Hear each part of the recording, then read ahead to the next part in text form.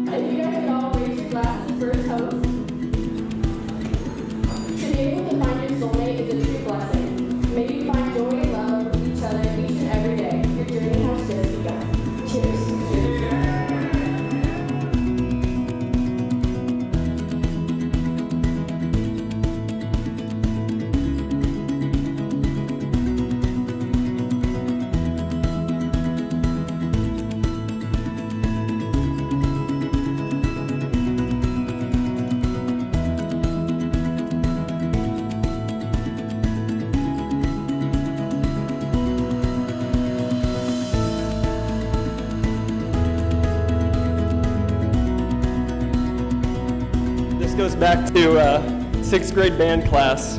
Andrew and I were playing the trombone, and we were awful, terrible at the trombone. We started hanging out every day after school, and we were inseparable from that, that point on. So several years back, Brittany was the intern at um, the company that my wife Hannah worked at called Best Buddies. Got to get to know her a little bit, and I knew that this girl had something special. So it was at Victory Field one night at a baseball game. I leaned over to Hannah and I said, Andrew Kelly needs to marry this girl. But the time was not right. He was the mature, committed, and steadfast man that he is today. But I knew that Brittany, I knew that Brittany one day could bring that out in him. So sure enough, a few years later, they, they connected through Best Buddies. Um, and then they went on a first date and then another date and another date and and here we are today. So I mean, I don't I'm not going to say I'm responsible for for all of this. but I do feel like I owe you a you're welcome. right?